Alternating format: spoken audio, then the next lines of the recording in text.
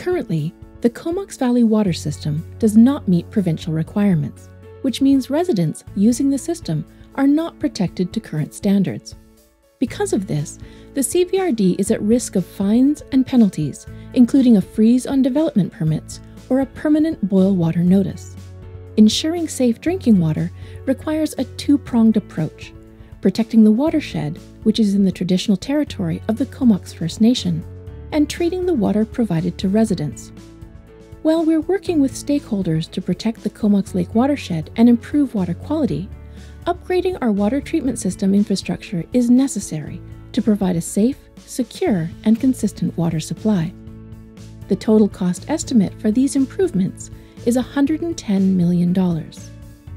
The Comox Valley water system currently holds reserves of $26 million.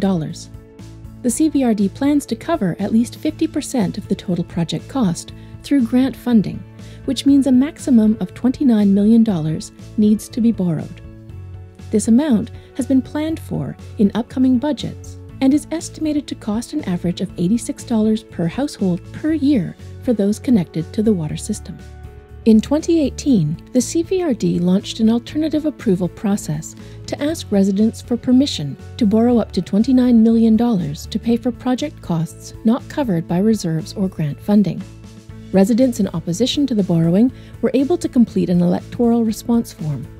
From February 1st to March 16th, the CVRD received 31 opposing responses. As this was fewer than 10% of the electorate, the CVRD can proceed with borrowing the necessary funds. The next phase of major infrastructure grants is expected in early 2019. The CVRD has changed project timelines to allow access to the grant funding, minimizing the cost to taxpayers. If funding is approved, the project will be complete in 2021. As an interim measure, the CVRD has installed a temporary ultraviolet treatment system at the existing chlorination station.